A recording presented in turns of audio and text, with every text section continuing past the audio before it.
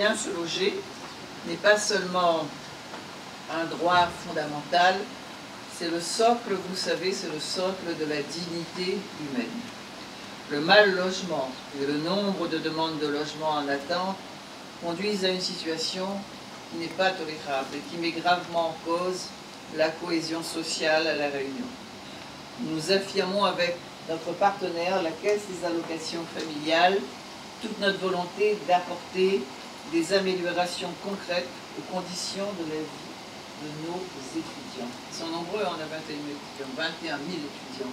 L'objectif de cette conférence de presse était de signer un partenariat entre la Caisse d'allocation familiale et, la, région Réunion pour travailler sur la question du logement étudiant et d'avoir un bon diagnostic du logement étudiant à La Réunion, maintenant et à venir, puisque la Caisse d'allocation euh, familiale de La Réunion dispose de, données sur euh, le parc locatif privé notamment, qui nous permettra, en associant les données du parc locatif public étudiants du CRUS ou des bailleurs sociaux d'avoir une cartographie précise du nombre de logements étudiants à La Réunion.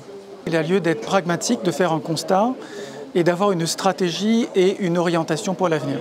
C'est surtout ça l'objectif. Et là, on en est sur le diagnostic précis pour pouvoir tracer une trajectoire d'amélioration de la vie étudiante sur les années à venir. C'est ça l'objectif de la démarche complète, quels que soient les campus, que ce soit au Tampon, que ce soit à Saint-Pierre, que ce soit au Port, à Saint-Denis ou dans le futur campus Est euh, de euh, Saint-André. La question du logement étudiant, c'est aussi une question de, euh, terrain disponible pour construire du logement étudiant. Sur le campus du Colosse, il y a 12 hectares qui sont réservés pour l'enseignement supérieur. Donc, de ce point de vue, il n'y a pas de souci. Et il ne peut y avoir développement de campus que s'il y a du logement étudiant associé. En revanche, sur les autres campus existants, il faudra trouver des surfaces complémentaires, notamment le long des lignes de bus amenant au campus, pour, permettre de pouvoir développer et construire du nouveau logement étudiant. Les étudiants bénéficient des allocations logement sous condition, euh, un certain nombre de conditions, hein, euh, conditions euh, de nationalité, de régularité de, séjour sur le territoire, de ressources aussi évidemment.